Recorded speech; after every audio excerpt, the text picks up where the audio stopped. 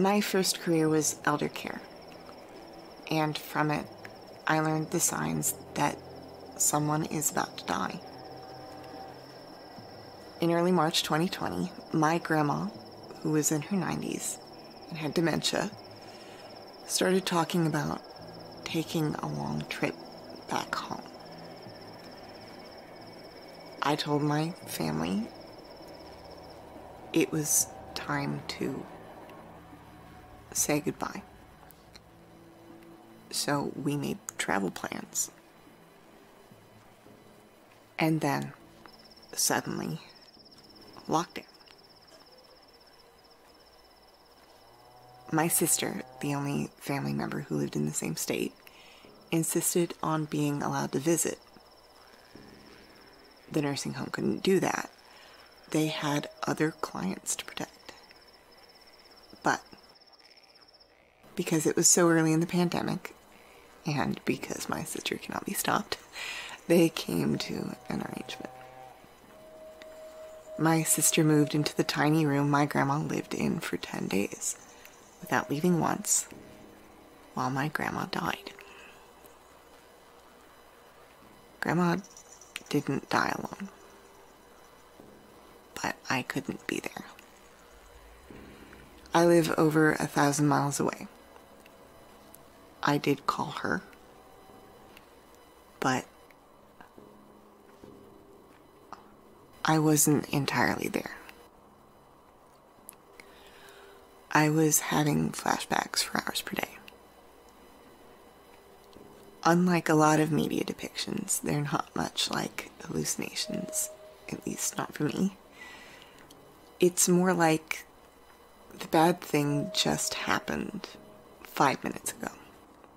That kind of vivid.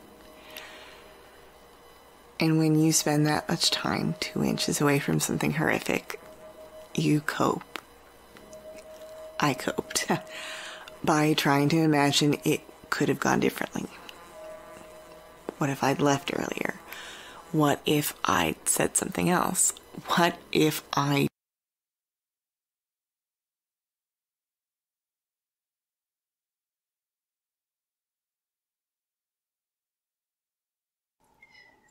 Pathologic 2 is my favorite game of all time. I saw the trailer about a month before it came out when I didn't have a computer that could run it. This was the game that convinced me I needed to finally join the PC Big Boy Club for real gamers. I hadn't even heard of the first one, and aside from looking up whether I needed to play it in order to understand what was going on, no, by the way, I decided I didn't want to be spoiled. There was just something about it that called to me. It's really rare that I get that excited about anything. Yeah, anything.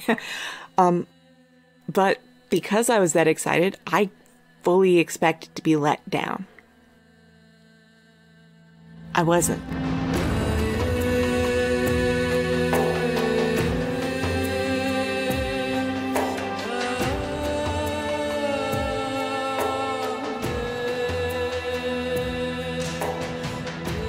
As hyped as I was, Pathologic 2 blew my expectations out of the water.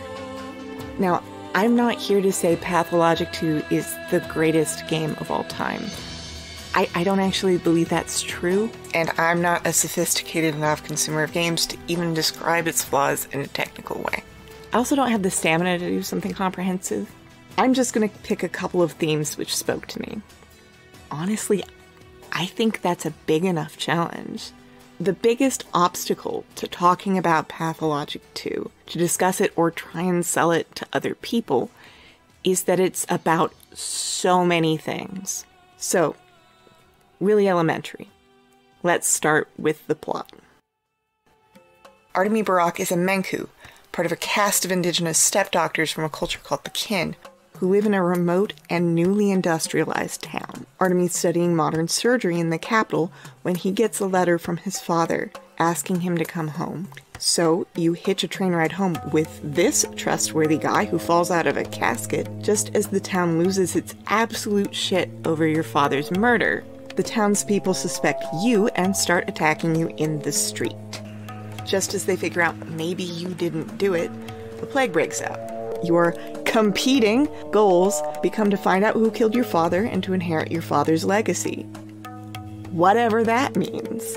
You're only half kin and you've been away for a long time. Your father's culture and his role in it are foreign and completely incomprehensible to an outsider. Your clues, which you get when you inherit your dad's stuff, are the names of the seven future leaders of the town, children, and an eighth, the Urduk. Okay, not English, but you can get a translation and a body that contains the universe. Okay, that that doesn't help. What the fuck does that mean? So you have to divide your limited time between gathering clues, avoiding getting stabbed, trying not to get the plague, saving whoever you can in case they have an answer or they're part of your mission. Oh, and by the way, you have all these meters to babysit, some of which kill you if they deplete all the way. And if they don't, then those empty meters deplete your health, which will kill you. That's the game. Have fun, asshole. Right now, people who have played it are probably a little frustrated with me. Like, yes, that's what it's about, but like, that's not what it's about about. If Pathologic 2 were a novel, I'd call it literary. Not in the sense that literary works are somehow superior to genre works or whatever. No, I mean that the writing on the line level, the presentation, the thematic underpinnings are as important, maybe even more important, to the forward momentum of the story than the literal plot events. For example, Pathologic 2 has a framing device. It begins in media res, which is fancy ass Latin for in the middle of things, at the end of the story. You, the player, are being scolded by Mark Immortell, who runs the theater, about your failed run through of the game. The town is occupied by an army. There are corpses in the street, and the survivors have given up. When you go to beg for more time from the powers that be, they are done. They're discussing how to bomb the town off the map to protect the rest of the country. Game over. The game begins with your failure.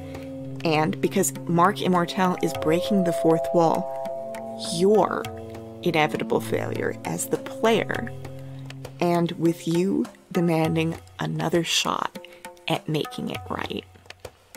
Let's take a step back. Why would you play a game where you're gonna fail? I suppose technically you fail at all games until you beat them. But narratively here, the game is telling you two things. First, that it's going to be about futility. And second, that it's a horror game. It's here to scare the shit out of you. And my reaction to this was fuck yes, sign me up. If you speak to people who are not horror fans, they don't really understand this reaction. Horror is scary. At its most skillful, it's harrowing, it's unfair. It makes you feel small and terrified. And all of us horror fans are like, hell yeah, it does. But if that's not your bent, it sounds like I'm enthusing about pain. And that takes some explanation, doesn't it?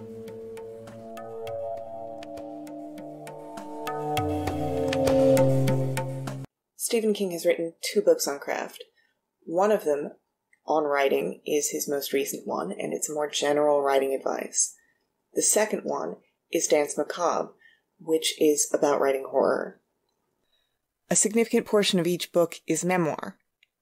They're meditations on what made him a writer, and more specifically, why he writes horror. Part of that story is a childhood watching movies with rubber suited monsters who menace helpless blondes.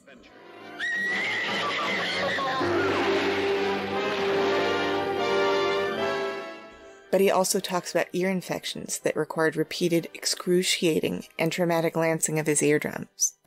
The puncturing of my eardrum was pain beyond the world. I screamed. There was a sound inside my head, a loud kissing sound. Hot fluid ran out of my ear. It was as if I had started to cry out of the wrong hole. King also spends a significant portion of his memoirs talking about his alcoholism and his drug addiction. But he's not the only person to write about the experiences that formed him. Stephen King is famous and he has biographers. And there's a story that they put in biographies that he never shares in his memoirs. When he was little, he watched one of his friends get hit by a train. According to biographers, this was a formative experience and it made him into a horror writer. I don't know. Maybe. What struck me about this is that stories about Stephen King, even stories he tells about himself, answer the following question What's wrong with him? Ever since I realized that was the theme of stories about Stephen King, I started looking for it in stories that people who write or who love horror tell about themselves. And with rare exception, I usually find it. It's almost like there are genre conventions for this kind of story. Now, I'm not sure if Stephen King does believe there's something wrong with him. What I think is he knows what you expect to hear when he tells you a story about his life. I think Stephen King is telling you the story you want to hear. I love horror myself. Obviously, I'm doing a whole video on why I love a horror game. So, what's wrong with me? Let's put a pin in that. Pathologic 2's opening promises you will fail. And it keeps that promise. You need to eat. You need to sleep. You need to pick a time to sleep when nothing's going on so you don't miss important events. So unless you know the game, like really know it, something has to give. One of your primary goals is saving specific characters. Again, mostly children. You can boost their immunity with store-bought pills or with tinctures you make yourself. But there's really nothing that increases their immunity beyond about 80%. Once they get sick, you can treat them with antibiotics to increase their chances. But even that isn't a sure thing. Early on, the only reliable way to save anyone once they're infected is a medicine called a shmowder. They're these crushed pills that you can find for barter with little girls or in chests around town. Sometimes. Oh, hey, it's the fellow traveler from the train. And he's buying organs. Good thing I'm carrying. They spawn so rarely that you really hesitate to use them. But if you don't, at midnight, any named character who's infected is subject to a dice roll versus the plague. And if they lose. So I start looking for shmowders early in the game. You can find at least one before the outbreak by completing a quest. This guy's gonna try and kill me. I also start hoarding ammo. Not because I have a gun. Guns are too expensive, and they jam too often to be worth it early on. But because ammo is small and it's expensive, and it goes up in value quickly once the plague hits. And ammo's easy to get. You can dig scraps of metal out of the trash and then trade those to small boys, so it's cheap and ethical to get a hold of. Then you sell the ammo for food easy. At least until rationing hits. I've got a minute. Frankly, I've never gotten through a run without spending most of my early game hoarding food. And while there are in game hints you should do this, mostly from a guy offering you a sweet deal on a bull that totally talks, he swears it just won't talk to you, I bought a talking bull. Thanks for waiting? Fuck. That's only foreshadowing if you know for sure what's coming. So there's what the character you're playing knows, and there's what I, the player, know. This is a difficult game, but a perfect run where nobody dies is possible. Well, it's. I mean, it. It can be done, I promise. If you know how to do it, it's not any more difficult than getting all the rings in a Mario game but Artemy Burakh, the character, would have no reason to know how to do it. There's also spectacularly little incentive to avoid failure. Unlike most games where failure walls off content, you see more of the game when you fail. You have dreams where your friends and wards forgive you or reproach you. Failure also changes how you perceive the game. There's this nice scene early on where you gather your childhood friends to begin reconciling a rift between you. It's this great, quiet narrative moment. The plague has just started. Shit is about to hit the fan, and you're setting aside your differences. This took work. I had to run around town to ask them to show up. On this run through, I ended up not doing a main quest, and one of the kids I was looking after got sick because I was doing this instead. This cost me something to see. And in a game where that's possible, where you have knowledge of other playthroughs where this didn't happen, this scene hits very different. So, in the strictest Pavlovian sense, the game rewards failure. But strangely, the result of that for me is that I feel so much more devastated when I do fail.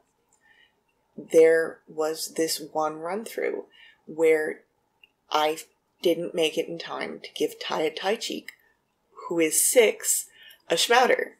Um, I hadn't planned my run through and I ran out of food and I was starving. She died. I had to go take a break, get a cup of tea. No other game has affected me like that. And yes, it is because it's well made, but it's also because of who I am. 2019 was a bad year for me, and 2020, for obvious reasons, was worse. At the beginning of the pandemic, my therapist asked me to list my coping strategies, and Pathologic 2 did make the list. Wasn't the top, but it was there. And she asked me about it. Um, I don't know what I was expecting. She told me to maybe take a break. Um, and this was fair of her. I had PTSD I have PTSD. And at the time, I had lost my job, partially because of the pandemic, but also because I wasn't attending work the way I needed to. I'm getting older, and the stuff I used to be able to power through, I just can't anymore.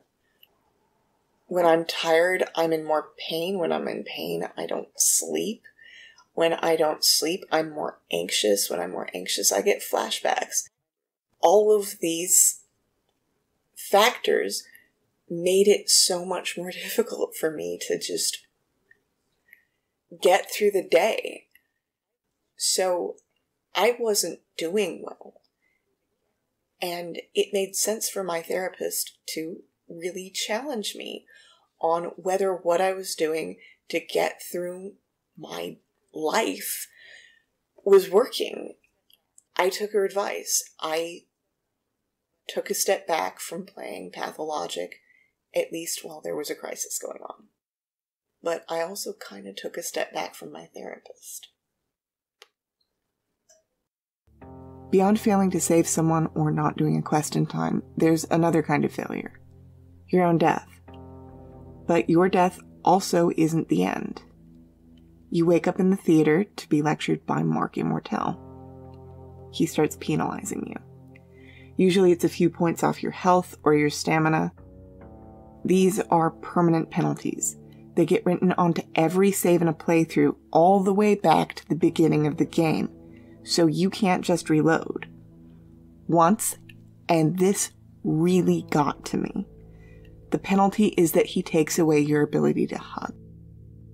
It's one of the first things he takes from you. At that fireside meeting you organize, Laura needs a hug. And of course she does. There's a plague. And you just can't. After you've died over and over and over, the fellow traveler, the coffin man from the tutorial, shows up in the theater instead of Mark Immortell. Instead of taking some of your life or damaging your psychological ability to be close to other people, he offers you a deal. He'll take away the consequences of your failures, no more penalties, in exchange for something.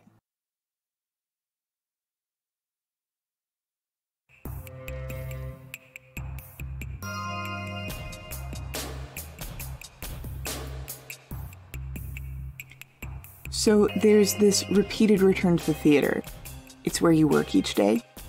At midnight, there are surreal plays that function like Greek choruses, commenting on the action or telling the future. It's where you go when you die. This underlines a major theme of the game performance. Calling attention to a theater performance as a performance within the context of a play is called Brechtian, after director and philosopher Bertolt Brecht. The midnight review of what happened during the day on a text card, the fourth wall breaks, the use of stagehands to point you in the right direction, or to tell you other characters' thoughts, all count as Brechtian. As in theater, these techniques have an intended function to alienate you from immersion in the story. You are not meant to identify as Artemy Burakh. You're meant to take your experiences as a player, the knowledge you know but Artemy can't, to get through the game. In fact, it's the only way to get through it. Actually, that's only partially true. I could have let Rubin, my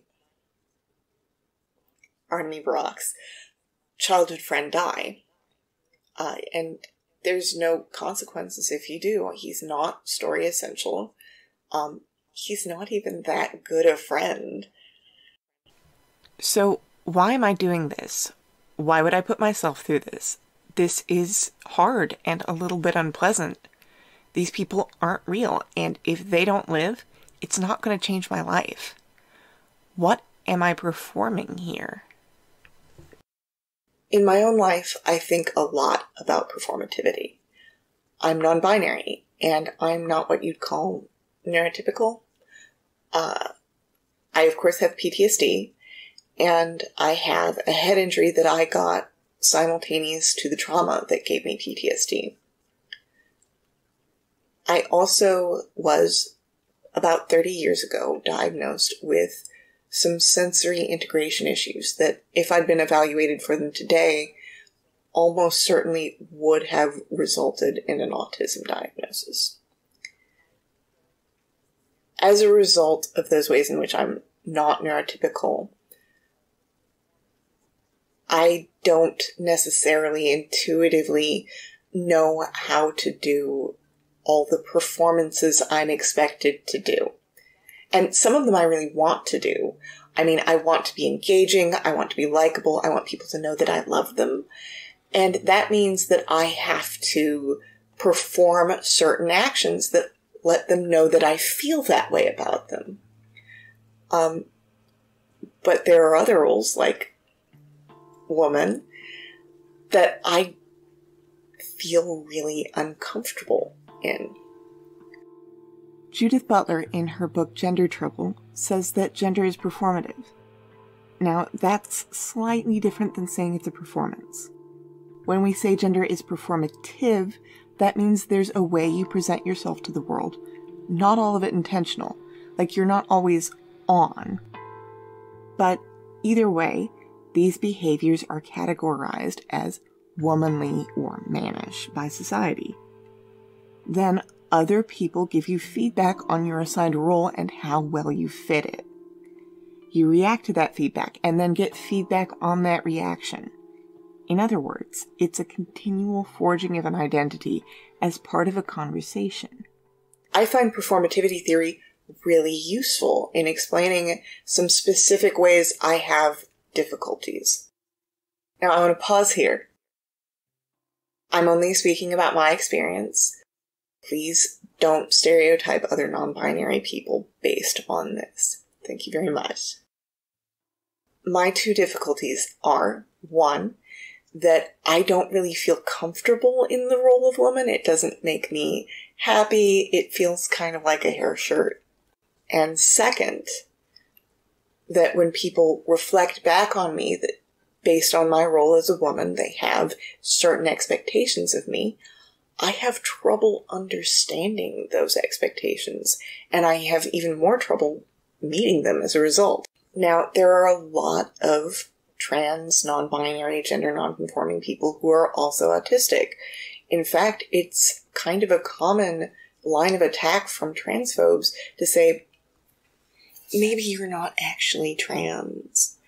Maybe you're just autistic. And my response to that is, well, maybe I am just autistic. But if that's the case, if it's neurological, that's my body. You know, my brain is in my body. My neurological system is in my body. So, what am I supposed to do about that?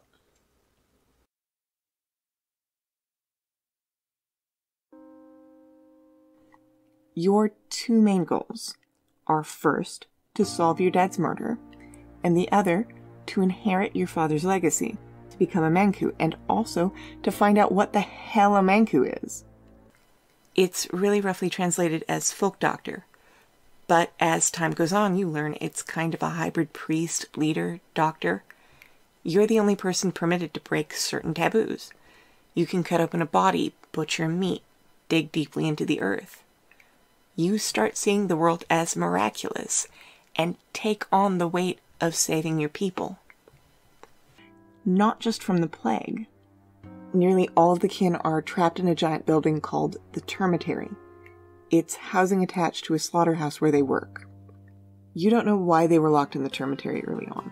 It was locked before the plague hit. But rumor has it that the Olgimskis, one of the three ruling families, headed off an anticipated strike through forced lockdown. The industrial business of the town, the Bull Enterprise, is headed by Vlad Olgimsky and his family. The Olgimskis are commerce overlords. The two other ruling families aren't as central to Artemis' narrative, but they exert a similar level of control over the town. The Kains have built the town as part of a utopian project to change the way people think and the limits of their imagination.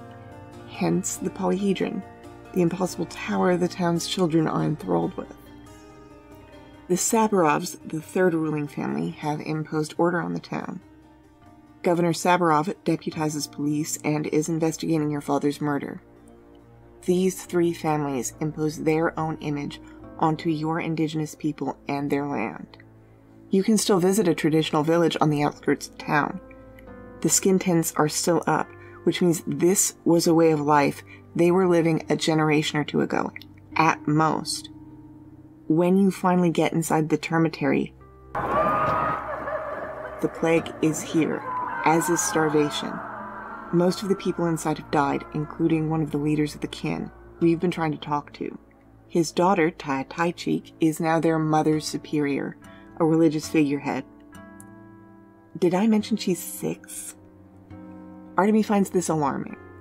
She's not a precocious six, she's six six. So, how is she leading? Well, members of the kin don't see themselves as individuals. She's not the boss like industrialist Vlad. She's the head of the bull. Unlike the ruling families, who place themselves over the town, Taya, by contrast, literally doesn't know the word alone. The key to solving the mystery of who killed your father, why they did it, is to stop seeing the plague as separate from the town, from its recent industrialization and the new and impossible building stabbing into the living earth. It's to stop seeing the origin of the plague and your father's murder as separate mysteries, but as part of a contiguous whole. You find two ways to end the plague, two different endings. Whichever one you pick, you win. It just depends on what kind of future you want.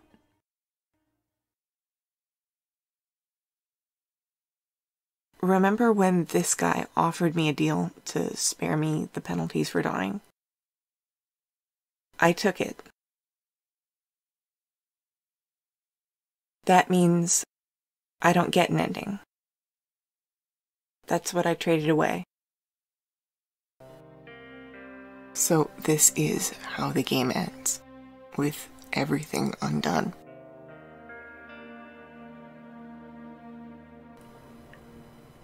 PTSD lies to me. It says if I don't go anywhere, don't trust anyone, don't feel anything, I can't get hurt.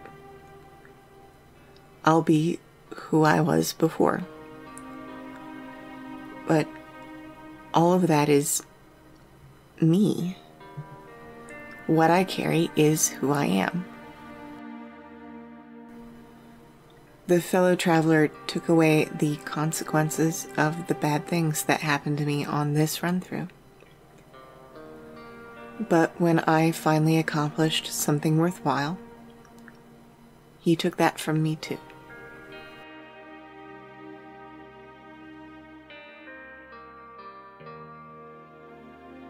So, narrative obligation fulfilled, bummer achieved. Um, I have told the story that people expect of horror fans and queer people and mentally ill people. This is what people want to hear. When I first started recovery, I really had a difficult time with it because I had to challenge everything about me, about myself, whether it was healthy, whether it was good. And unfortunately, is this healthy or is she just sick? Is the same question that people ask about me when they don't like me and they don't want me to succeed. When I chose that framing, what's wrong with me? I set myself on a path where I was inevitably going to dredge something up, come up with an answer, even if there's not that much wrong with me. So, let's unask the question.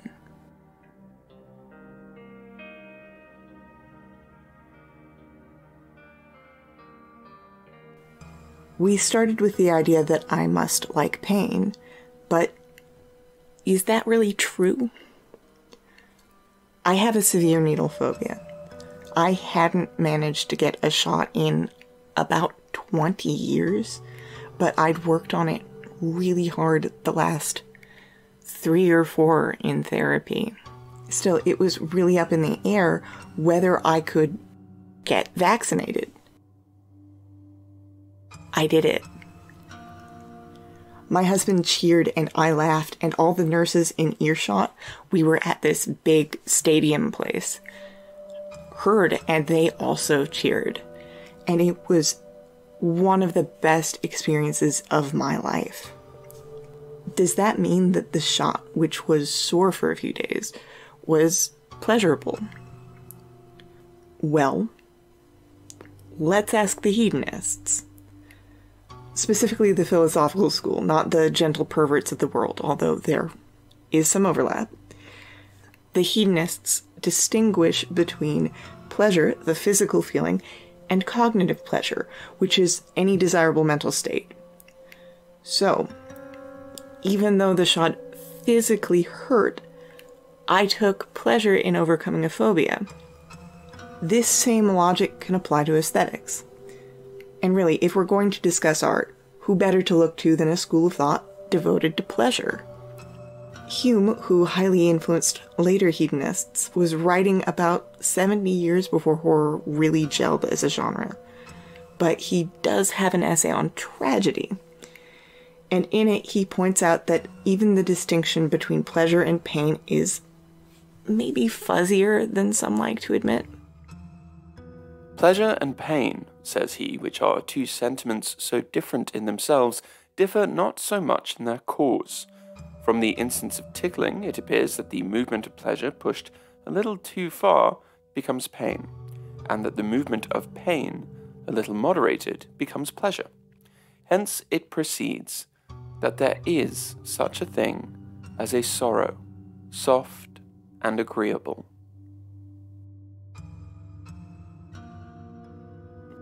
Something can startle me, or make my gut squirm, or make me cry, and still feel good both mentally and physically.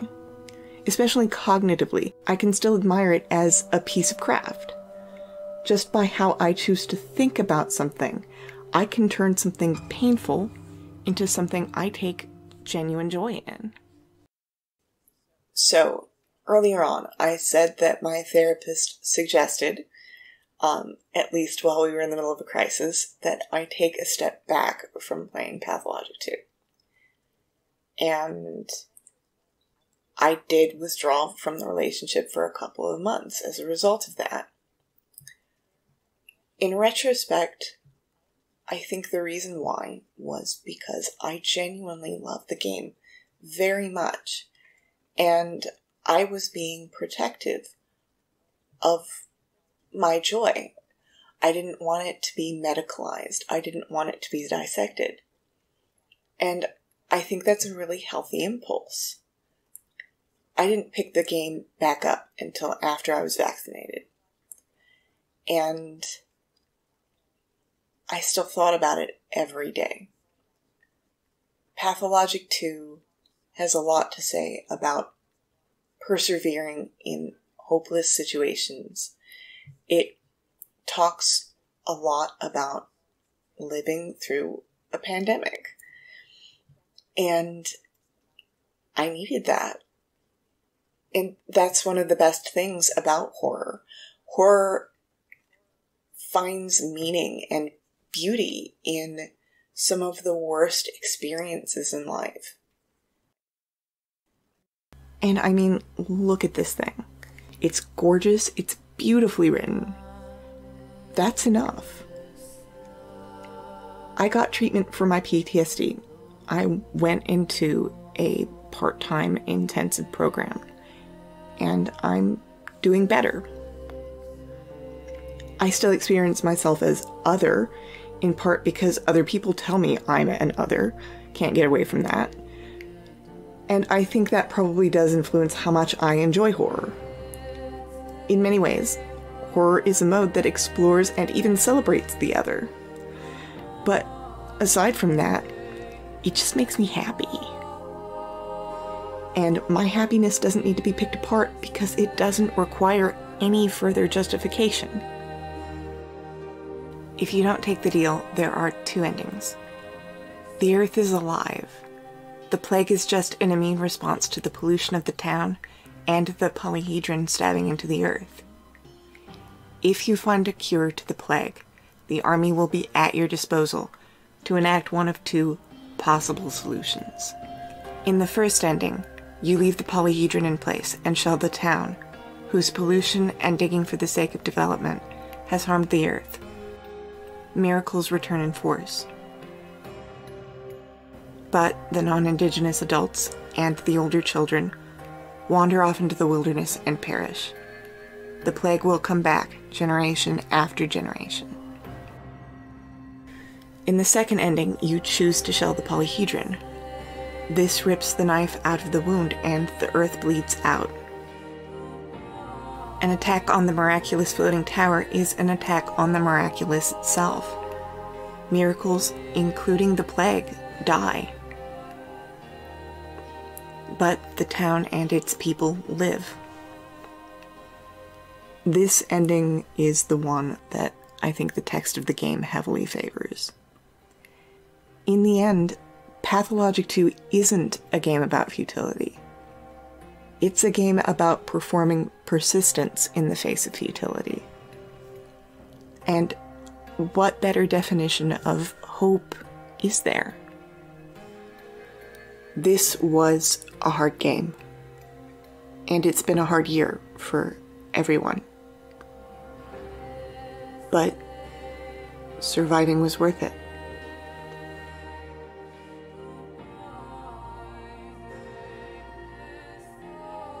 Acknowledgements. Thanks to Erik Hane and John Greenaway for voicing Stephen King and David Hume, respectively, and for all their encouragement.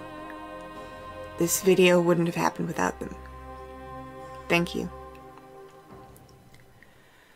Additionally, I should mention that Philosophy Tube's video on Jordan Peterson covers Brecht and the hedonists in a little more depth. I also have a philosophy background, but it'd feel wrong not to mention. I also want to thank hbomberguy for his video on the first pathologic. It's one of my favorites on this website, and I wouldn't have thought to do a video on this at all if I hadn't seen his.